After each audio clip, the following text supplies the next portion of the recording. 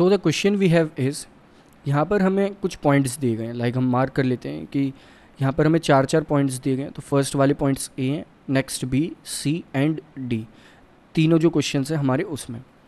सो so, उस according हमें ये बताना है कि ये जो चारों पॉइंट्स बन रहे हैं ये किस टाइप का क्वाड्रिलेटरल फॉर्म कर रहे हैं? अब हमें पता है क्वाड्रिलेटरल तो एक तो जनरल क्वाड्रिलेटरल होता है जिसकी कोई भी साइड आपस में एक तरह से इक्वल नहीं होती।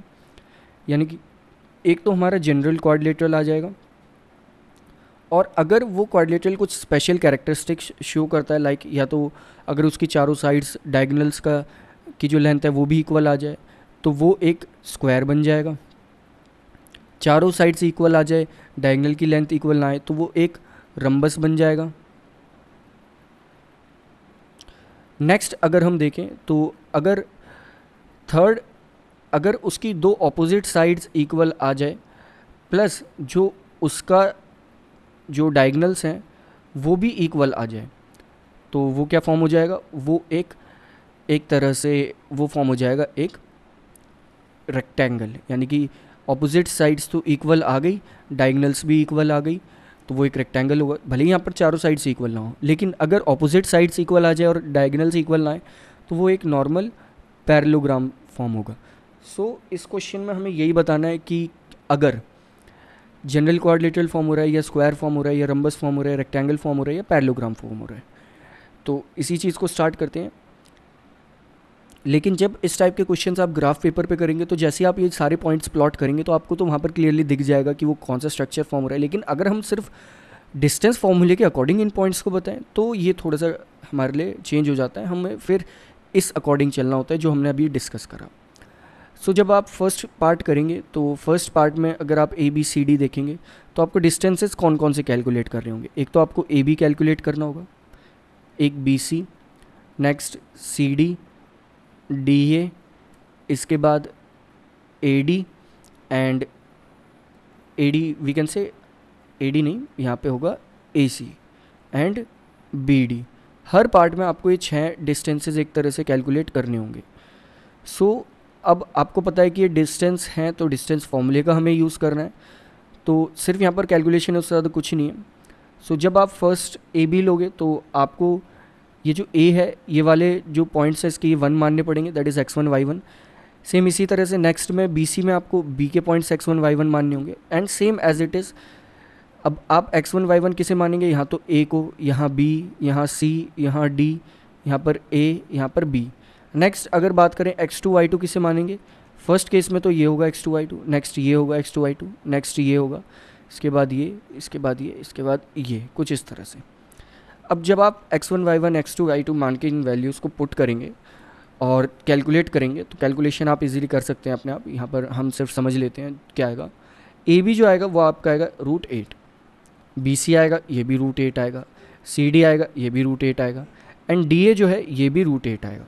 साथ ही साथ जब आप ए सी और बी डी कैलकुलेट करेंगे तो ए सी और बी डी आपका रूट सिक्सटीन रूट सिक्सटीन आ जाएगा, यानी कि एक तरह से ये वैल्यूज़ आ जाएँगे आपके पास फोर एंड फोर सो अगर आप यहाँ पर देखें तो चारों साइड्स इक्वल है डायगनल्स इक्वल हैं। चारों साइड्स डायगनल्स इक्वल होती हैं तो हमने स्टार्टिंग में देखा था, वो होता है एक स्क्वायर यानी कि फ़र्स्ट केस में जो ये चारों पॉइंट्स होंगे, ये एक स्क्वायर फॉर्म कर रहे होंगे।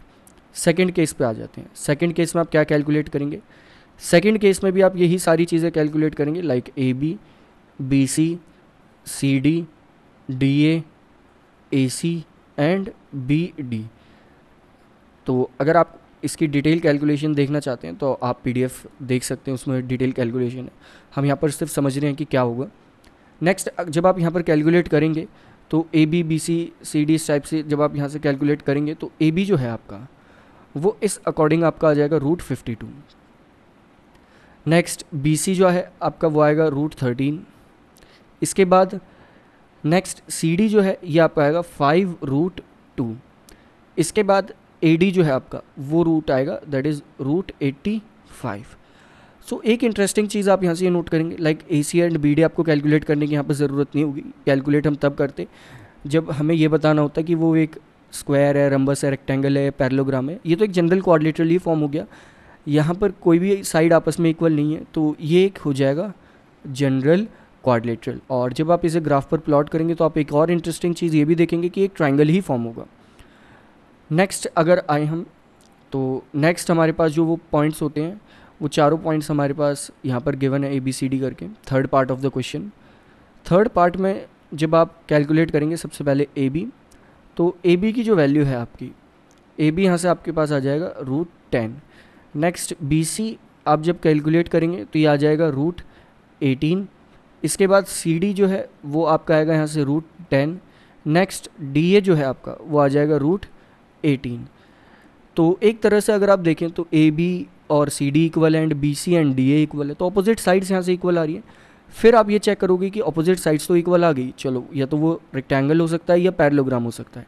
अगर डायगनल्स भी इक्वल आ जाती हैं तो वो रेक्टेंगल हो जाएगा। अगर डायगनल्स इक्वल नहीं आती तो वो पैरलोग्राम हो जाएगा। सो so, इसके लिए जब आप A C and B D calculate करेंगे तो ए सी जो है आपका वो इस अकॉर्डिंग आ जाएगा टू एंड बी डी जो है आपका वो आ जाएगा टू रूट थर्टीन यानी कि डायगनल्स इक्वल नहीं है विच मीन्स ये आपका हो जाएगा एक पैरलोग्राम सो so, ये मेथड होगा इस तरह से आपको डिस्टेंस फॉर्मूले का यूज़ करके ये सारी वैल्यूज़ कैलकुलेट करनी है।